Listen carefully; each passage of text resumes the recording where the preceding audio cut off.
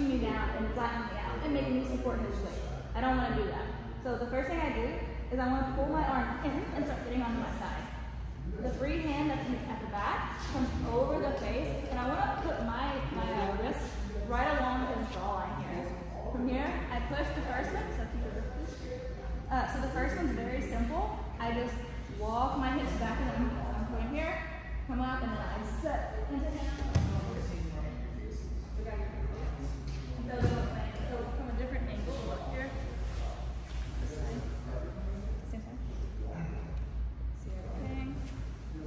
So we're here. Number one most important thing is I want to be on my side, pulling my arm in. I push at the at the jawline with my wrist. I reinforce. Uh, let's turn this back. Just see. So I'm gonna I push from here. I walk myself out. I space. I kick up, push here. Once we get to this position, it's very important that I base out. If I don't base out and he's larger than I am, or even not, he can keep his hands, keep your hands, and just roll me back over.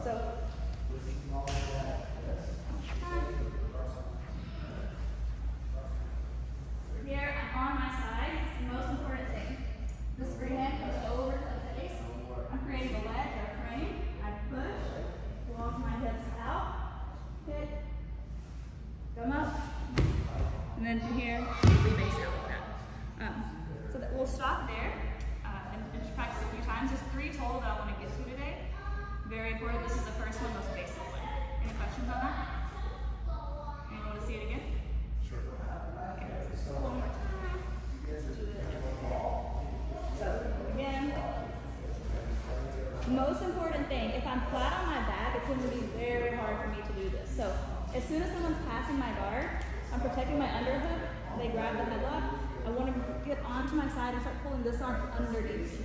From here, the hand comes over, create a frame, reinforce that frame, create space here. The outside leg, the leg that's furthest from his body, kicks up, and I push at the same time. Here, So you base out so he doesn't. Yeah. I always want to base out because if, if I just hang on to him, there's nothing, especially if he's larger. Um, it's, ha- it's personally happened to me I didn't, I didn't base out. I took a short cut and then I had to do the headlock again one more time. So, uh, yeah, just go ahead and base out so they can't re, re-roll you. Cool? Okay, let's do it. One, two, three. Space that you create the space to allow their body to fall. If your body's still there, then they're going to be on top of you, so it's more difficult. Uh, so, next. This time, we're in the same scenario. I'm on my side. I'm in this position. My partner has a headlock or the face is coming. Uh, from here, same thing.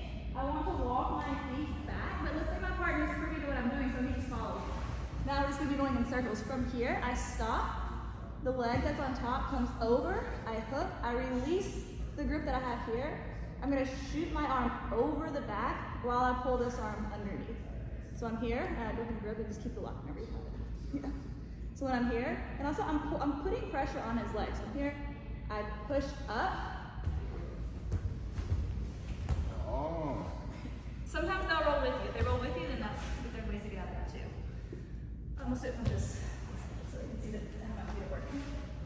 So we're here. I'm creating space. He's following me, right? So now I grab the leg, release, I push. This is my power leg. This is my, my connection to the mat. So I'm pushing as I'm also coming up. From here, this time he decided to hang on. So now we stay there. And then keep your legs up your arms long. So sometimes you'll end up in a situation where they keep the headlock. You're on mount, so it's not a terrible thing.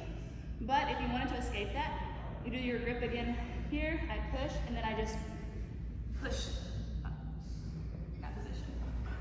Any questions on this? Can we see it one more time? Yeah, of course. Uh,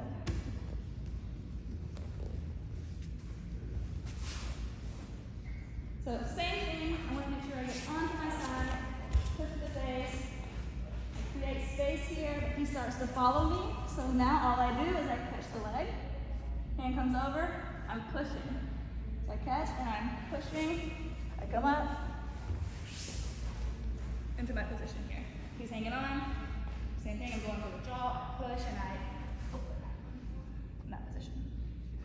Um, this is honestly something that we should have taught you guys a month ago now, so we, we messed up and didn't show that the first bit, but uh, it's all very important. So, any questions on this one?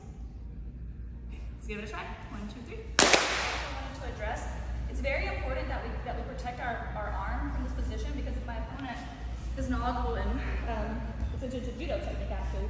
This is called Gatame in judo. If this arm is out, he can tuck my arm over, bring the, the, the leg up, and then it's an arm bar Um, so that's why we want to pull our, our arm in. So from here, same thing. My partner has the headlock. I'm, I'm going here. Now this time, um, we're going to do what's called a shrimp over. So I'm here. My feet come close. I bridge up. So make sure you come out. So the feet. So I bridge up. I'm here, and then I just go over and base. Again, it looks like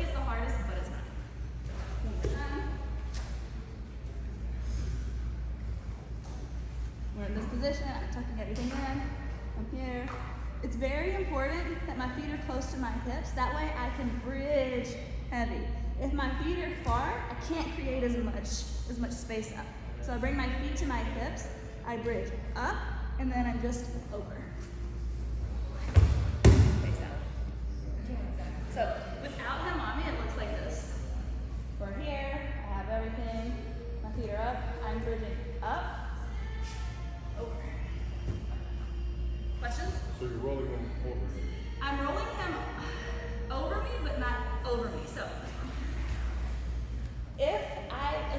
Point during this technique I bring my feet off the ground or I allow my hips to drop, what's gonna happen? From here, I bridge up, I bring it, and then on top of me. He's a little bit heavy,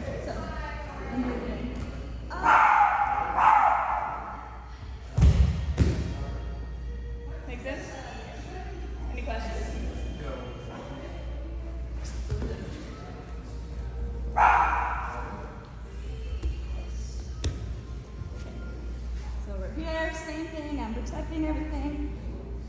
I'm blocking it. I, don't want pressure into me, so I'm bridging up onto my shoulder. Notice how I make his his uh, pressure go forward. That's my goal. So I'm bridging up, and then I'm just over. I've done this personally to a 250 pound man. It, it works, and it's not hard to do. It's just technique. Any other questions? Okay, cool. Let's give it a try.